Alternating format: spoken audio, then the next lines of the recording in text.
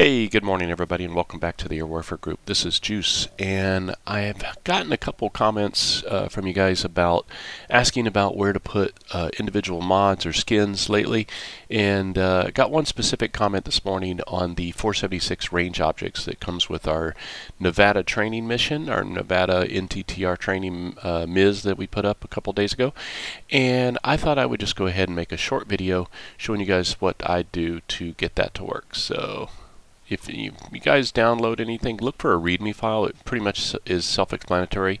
But if you are new to this, uh, you can muck it up. So this is probably uh, good if you're not familiar with, you know, adding third-party liveries or mods or anything like that. So, so we're going to go ahead and click on the link.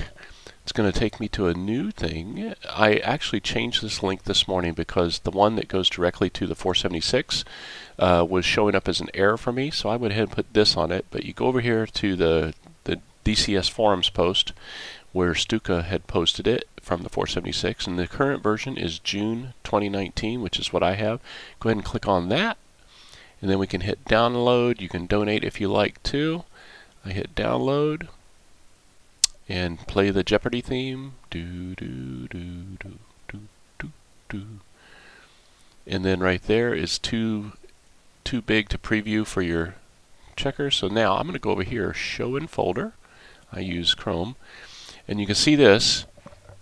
If you look at the zip, I'll unzip it, and right there, there's your 476 range objects. If I click in there, you can see there's mods, tech, 476 range. That's where you want to get to. So what happens is, is when you get back to the zip file, right there, we'll go there, you'll unzip it, you'll open it up.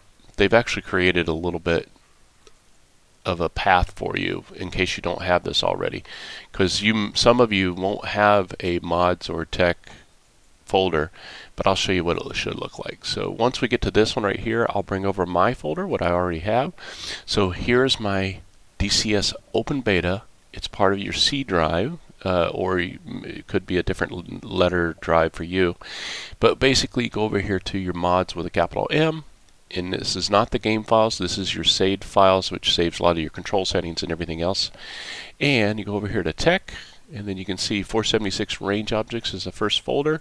I'll open up that. So basically, if I was going to do this, I would drag this file into this folder into this whole folder right here. Like I'd drop it right in there and it would create this 476 range targets.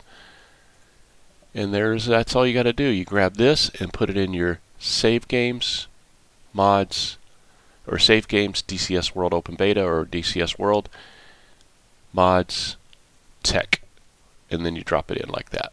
That's all you got to do. If you have any questions, drop them in the comments. Again, once you get the hang of this, it becomes second nature. You guys have a great Sunday. Juice out.